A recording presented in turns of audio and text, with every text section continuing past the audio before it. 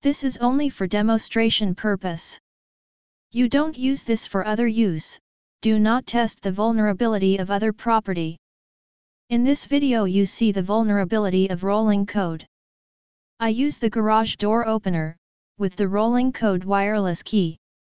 If you see now the test and not listen the theory behind this video, put cursor of time of video at 3 minutes, see below. And now the theory. This part of text I found on the web, because the method is the same everywhere. RollJam steals the secret codes, called rolling code, that is generated every time you press the unlock or lock button on your wireless key, and expires once they are used. The rolling code is basically a randomly generated pseudocode that is sent over a radio frequency to your car when you press the key fob. The lock has a synchronized code generator that recognizes it and then destroys it so it can never be reused. The key and the car then generate new code for the next time around, and the process repeats. RollJam also works against some garage door openers, including the rolling code garage door opener. In this video I use the normal hardware find on internet.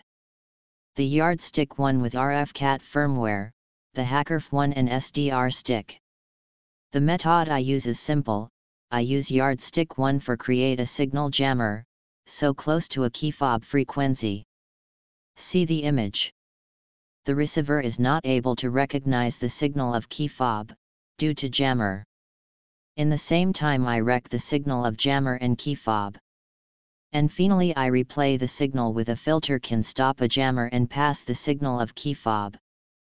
Important, the second replay is just for demonstrate that is really the rolling code, in fact the code is not recognized the second time.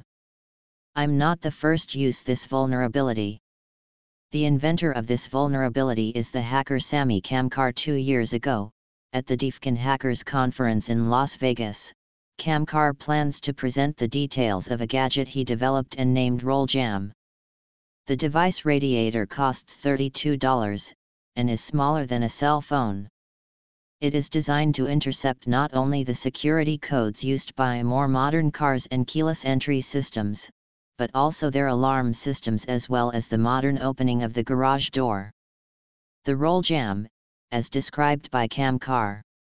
In my video test I don't use the real procedure of original RollJam use, this is just a real test for explain vulnerability of the system call rolling code. With this test I hope learning and sensibilize the people and take attention, to this technology. And now the most interesting of video, the test, I hope you enjoy.